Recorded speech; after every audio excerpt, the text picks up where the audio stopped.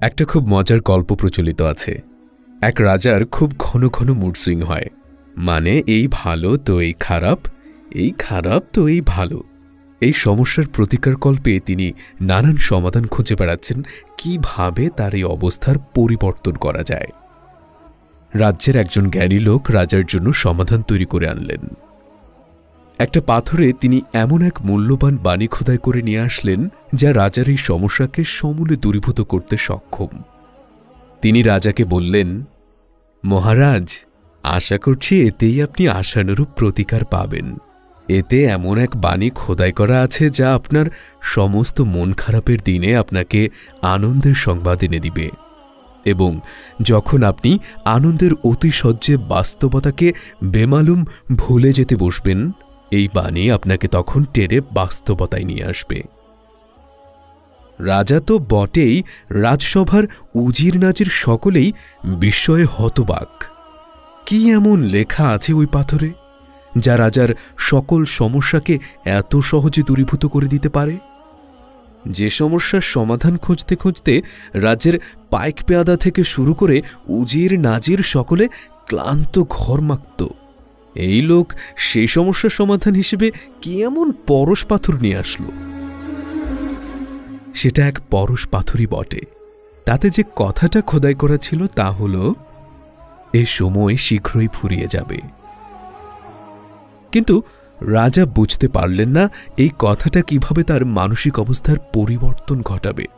সেই জ্ঞানী লোকটাকে রাজা বললেন, তোমার কথা না হয় বুঝলাম, কিন্তু পাথরে খোদাই করা এই বাণী কীভাবে আমার উপকারে আসবে, তা তো বললে না। লোকটা বলল, মহারাজ, আপনি শুধু পাথরটাকে নিজের সাথে রাখবেন। যখন আপনার মানসিক বৈকল্য কিংবা আনন্দের অতিশয্যের পালা আরম্ভ হবে, তখন পাথরটা একটু চোখ বুলিয়ে নিলেই হবে। বাকিটা আপনি তখনই বুঝতে পারবেন। এর কিছুকাল পরে পার্শ্ববর্তী অন্য আরেক রাজার আক্রমণে বিধ্বস্ত হতে লাগল পূর্বেকার সেই রাজা। অবস্থা এমন যে রাজ্য হারানোটা কেবলমাত্র সময়ের ব্যাপার। যুদ্ধে রাজাও ভীষণভাবে আহত। উঠে দাঁড়ানোর শক্তিটুকু শরীরে মজুদ নেই। এমন সময় রাজার মনে পড়ল সেই পাথরটার কথা। ওই লোকের কথা মতো রাজা সেটা সারাক্ষণ নিজের সাথে রাখছিলেন। পাথরটাকে চোখের সামনে ধরে ভালোভাবে তাতে দৃষ্টি দিলেন তিনি। চোখের সামনে ঝলঝল করে ভেসে উঠল কথাটা। এ সময়ে শীঘ্রই ফুরিয়ে যাবে। কথাটা যেন ভেতর থেকে টেনে তুলল রাজাকে। নিজের মনকে রাজা বোঝালেন, তাই তো? এই পরাজয় তো সাময়িক। এই পরাজয় শেষ আছে এবং শেষ প্রান্তে আছে আমার বিজয়ের সম্ভাবনা। এ সময় হ্যাঁ এ সময় শীঘ্রই ফুরিয়ে যাবে। ভেঙে পড়া রাজার মনোবলকে এই কথাটা দারুণভাবে উৎফুল্ল করে তুলল। তিনি আহত সৈনিকদের সেবা যত্ন করে নতুনভাবে সৈন্য সামন্ত জোগাড় করে পুনরুদ্যমে যুদ্ধে চড়ালেন এবং বিজয়ী হলেন। পাথরে খোদাই করা সেই কথাটা তার জীবনে দারুণভাবে সত্য হল। পরাজয়ের সেই সময়টা শীঘ্রই ফুরিয়ে গেল। এরপর বিজয়ের আনন্দে আত্মহারা হয়ে পড়লেন রাজা। রাজ্য পুনরুদ্ধারের খুশিতে তিনি গোটা রাজ্যময় উৎসবের আয়োজন করলেন। উৎসব, আনন্দ আর ফুর্তিতে কাটতে লাগল রাজার দিনগুলো। এরপর এক সময় সেই পাথরের কথা রাজার মনে এলো, যা একদিন তাকে পরাজয়ের দ্বারপ্রান্ত থেকে বিজয়ের রাস্তা দেখিয়েছিল। সেই পাথর চোখের সামনে তুলে ধরলেন রাজা। সেই অমূল্য বাণী আবারও ঝলঝল করে উঠল তার সামনে। এ সময় শীঘ্রই ফুরিয়ে যাবে। কথাটা যেন মুহূর্তেই বাস্তবতায় নামিয়ে আনল রাজাকে। তিনি ভাবলেন, সত্যিই তো, যে কোনো মুহূর্তে আবারও আক্রমণের শিকার হতে পারি। হারাতে পারি রাজ্য আর রাজত্ব। সিংহাসন ছেড়ে কাল হয়তো বনে বনে ঘুরে বেড়াতে হবে আমাকে। এ বিজয় তো সাময়িক। সম্মুখেই হয়তো ওত পেতে আছে বড় কোনো পরাজয়। পরাজয়ের ছায়া মাথায় নিয়ে এই আনন্দ এই উৎসব আর ফুর্তির কি কোনো মূল্য আছে?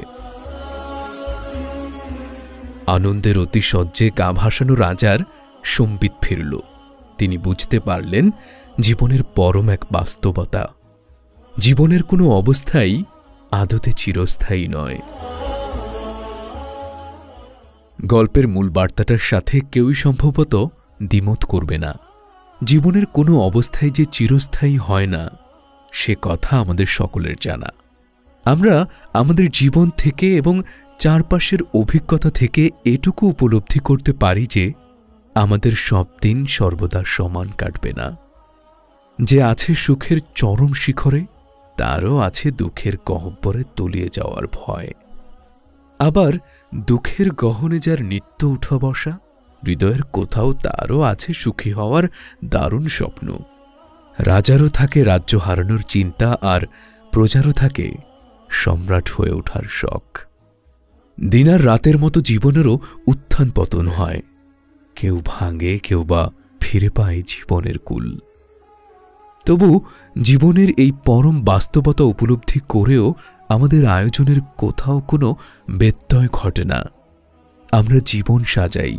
আবার সাজানো জীবন তছনছ হলে দুঃখে কাতর হয়ে পড়ি। জীবনের ভাঙা টুকরোগুলোকে জোড়া লাগাই। সেগুলো আবার ভাঙে, আবার আমরা পশরা সাজাই। এমন এক অনিবার্য জীবনের চক্রে আমরা জড়িয়ে থাকি, যার জবনিকা পতন ঘটে আমাদের মৃত্যুর দিন। যেদিন আমরা জীবনের পাঠ চুকিয়ে পাড়ি জমাই অনন্ত জগতে। সেদিন আমাদের সাজানো সংসার, সাজানো আয়োজন থেমে যায়। অথবা সেই সংসার, সেই আয়োজন থেকে আমি বরং বাদ পড়ে যাই। আমার শূন্যস্থান দখল করে অন্য কেউ। আমার জীবনচক্রে তখন জড়িয়ে পড়ে অন্য কারও জীবন। এই সুখ কিংবা এই দুঃখ দুটোর কোনোটাই আমাদের জীবনে চিরস্থায়ী নয় জেনেও আমাদের সমস্ত মনোযোগ যেন এই জীবনকে ঘিরেই আবর্তিত। কিন্তু যদি এমন হতো, আমরা যদি এমন এক জীবনের সন্ধান পাই যেখানে কোনো দুঃখ নেই, কোনো মন খারাপ নেই নেই কোনো হৃদয় ভাঙার ঘোঙ্গা নেই, তাহলে কেমন হতো? কেমন হতো? যদি সেখানে পাওয়া যেত কেবল অনাবিল আনন্দ, অবিরাম অবিরত সুখ আর নিরবচ্ছিন্ন প্রশান্তির হাতছানি? যদি সেখানে কোনো দুঃখের ছোঁয়া না থাকে, যদি সেখানে না থাকে কোনো অশান্তি, অনিয়মের রেশ, কেমন হবে সেই স্বপ্ন রাজ্য? সেই রাজ্যের দেখা পেতে মানুষ কি মরিয়া হয়ে যাবে না? তার মন কি উতলা হবে না সেই জীবনের সন্ধান পেতে? যে পরম সুখের দেখা পেতে মানুষ জীবন ভর সংগ্রাম করে, যদি তার সেই স্বপ্নের জীবনের সন্ধানকেও তার সামনে মেলে ধরে যদি তাকে বলে দেয় সেখানে যাওয়ার পথ, সে কি আনন্দের অতিশয্যে আত্মহারা হবে না?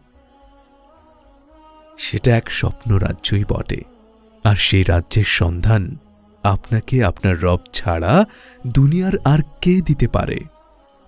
দেখুন, জীবনের এই উত্থান পতন জেনেও দুনিয়াকে ঘিরে আপনার কত কি আয়োজন। আপনার এই বাহারি আয়োজনের সব কিছু একদিন ফুরিয়ে যাবে। অথবা সেগুলোকে ছেড়ে যেতে হবে জেনেও আপনার ভবোদয় ঘটে না চারপাশের সব কিছু নিশ্চিন্তরূপে ভঙ্গুর জেনেও আপনি এমনভাবে বাঁচেন যেন এ সব আপনাকে কোনোদিন ছাড়বে না, অথবা আপনি ছেড়ে যাবেন না এসবের কোনো কিছু। যে সাময়িক জীবনের সুখ দুঃখ নিয়ে আপনার এতখানি আয়োজন, অনন্ত সেই সুখরাজ্যের ব্যাপারে তাহলে আপনার কতখানি আয়োজন থাকা দরকার? এই জীবনে যিনি সুখ খুঁজে বেড়াচ্ছেন, তার জন্যে আছে এক মহা সুসংবাদ। সুসংবাদ তার জন্যেও যিনি ছাড়তে চান না আয়ুষী জীবন। দুঃখের ভারে নুয়ে পড়েছে যার জীবন, জীবনের ক্লান্তি আর অবসাদে যে বিপন্ন প্রায়, তাকেও জানাতে চাই এক মহাসংবাদ আপনার রব জানাচ্ছেন وإن لك لأجرا غير ممنون তোমার জন্য অবশ্যই আছে অফুরন্ত পুরস্কার আপনার রব আপনাকে সেই জীবনের দিকে ডাকছেন যেখানে আপনার জন্য রাখা আছে অফুরন্ত নিয়ামত অফুরন্ত সুখ অফুরন্ত প্রশান্তি সেখানে আপনাকে মাসের বেতন নিয়ে টানা হেচড়ায় পড়তে হবে না চাকরির জন্যে হাপিত্তেশ করা লাগবে না সন্তানের ক্যারিয়ার নিয়ে দুর্ভাবনায় থাকতে হবে না। সেখানে বন্ধুর বিশ্বাসঘাতকতার ভয় নেই, ক্ষমতাবানের রক্তচক্ষু নেই। নেই সমাজের মাতব্বর মুরব্বীর কড়া আর কটু কথা শোনার বিড়ম্বনা। সেই জীবনে সমস্ত ক্লেদ, ক্লান্তি আর বিষাদের জ্বালা থেকে আপনি মুক্ত। সমস্ত জড়তা, জীর্ণতা আর জিঘাংসার ছোবল হতে আপনি সেখানে নিরাপদ। আপনার জন্যে সেখানে বন্দোবস্ত করা আছে এমন এক জীবন, যা আপনার অবচেতন মন সর্বদা কামনা করে। ভাবুন তো, কেউ কোনো এক চাকুরি প্রার্থীকে এসে বলল, অমুক পরীক্ষায় উত্তীর্ণ হলে আপনি পেয়ে যাবেন আপনার কাঙ্ক্ষিত চাকুরি। আর সেই চাকুরি কোনোদিন চলে যাওয়ার ভয় নেই। এমন আশ্বাস যদি কোনো চাকুরি প্রার্থী পায়, যার চাকুরিটা খুব করে দরকার, সেই পরীক্ষায় উত্তীর্ণ হওয়ার জন্য চাকুরি প্রার্থীর চেষ্টা তখন কেমন হবে? সংসারে শান্তি নেই, এমন কাউকে কেউ যদি বলে, এই কাজটা করুন, তাহলে আপনার সংসারে শান্তি ফিরে আসবে এবং তা আর কোনোদিন মিলিয়ে যাবে না। এমন আশ্বাসে সংসারে অতিষ্ঠ হয়ে ওঠা সেই মানুষটা কতখানি আপ্লুত হবে আর সেই অফুরন্ত শান্তি লাভে কেমন মরিয়া হয়ে উঠবে বলুন? যার শরীরে মরণ রোগের বাসা, তাকে যদি কেউ বলে, প্রতিদিন তিন মাইল যদি হাঁটতে পারেন, আপনার শরীর থেকে সমূলে দূর হবে রোগ। আর কোনোদিন আপনি ওই রোগে আক্রান্ত হবেন না। এমন ভরসা পেলে ভগ্ন শরীর নিয়েও ওই ব্যক্তি কি তিন মাইল হাঁটবে না? তাহলে যেখানে চাকুরি প্রাপ্তির কোনো চিন্তা নেই, যেখানে সংসারের অশান্তির কোনো কষ্ট নেই, যেখানে নেই কোনো রোগ শোকের প্রশ্ন, এমন এক স্বপ্নময় জীবনের প্রতিশ্রুতি যখন আপনার রব আপনাকে দেয়, সেই জীবনের জন্য আপনার কেমন তাড়াহুড়ো থাকা উচিত? কেমন তৎপরতা আপনার দরকার সেই জীবনকে ঘিরে? গল্পে সেই রাজার মতো সেই স্বপ্ন রাজ্যের কোনো লোক এসে আপনাকে বলবে না এই সময় শীঘ্রই ফুরিয়ে যাবে কারণ আপনার সেই সুখ সেই শান্তি তো কখনোই ফুরোবার নয় এ যে আপনার রবের ওয়াদা إلا الذين آمنوا وعملوا الصالحات فلهم أجر غير ممنون তাদের জন্য আছে অফুরন্ত প্রতিদান সেই অফুরন্ত নিয়ামত পাওয়ার জন্যে, সেই অনন্ত অনাবিল সুখের সাগরে অবগাহনের জন্যে। হবে কি আপনার একটু সময়? একটু সময় আপনার রবের জন্য?